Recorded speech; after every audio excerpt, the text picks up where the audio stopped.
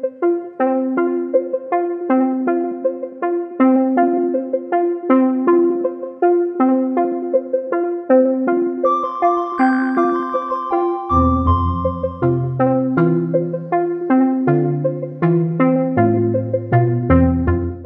morning, Joy friends, and welcome to Morning Joy Blogs with Cynthia.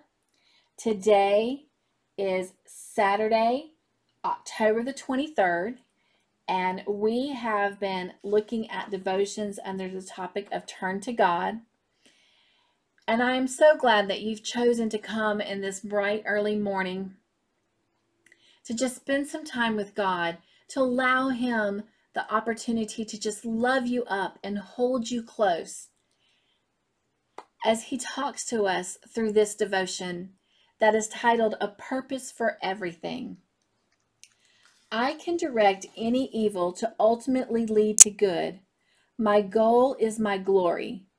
And sometimes evil will dwell within circumstances that I will ultimately overcome in victory. Don't be fooled by what you see but instead determine to walk by faith. All too often, you'll be tempted to believe that just because there's a tragedy and evil in the world, I am less than all powerful. Your doubt tempts you to conclude that if I were all loving, I would not allow evil.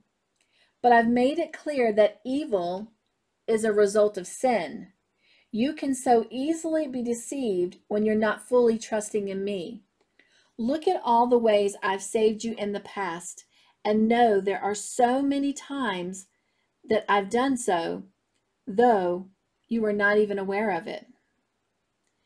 Know that the things that burden you, the ways in which you're struggling, are opportunities to show myself stronger and more powerful than ever before.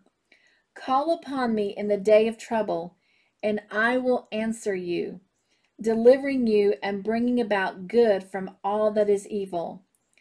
I have purposes for all I do. Trust that I do and watch the miracles I will bring about in your life. Just when you think things are falling apart, you'll look back upon your answered prayers and find that they are simply falling into place.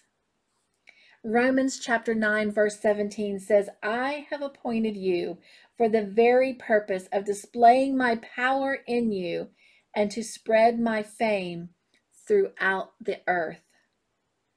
My friends, I feel like that has been my testimony over the last eight months for those of you that have been with me on my physical medical journey. I feel like that God never left my side. And even in those dark moments, those painful moments, every time it seemed when one door closed, you know, two opened, and it was just horrific. But yet, I feel that He appointed me for the very purpose of allowing you and others to see His power working in my life.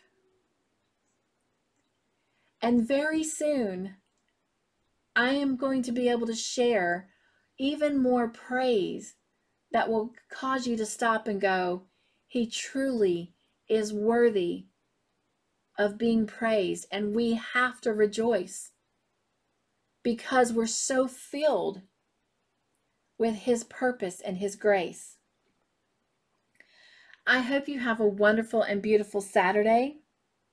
I hope that you will trust Him with everything that you're going through and you will let Him be victorious in your life. Have a great Saturday, everyone. Hugs, hugs, hugs. Be joyful, stay joyful, and I will see you in the morning. Bye.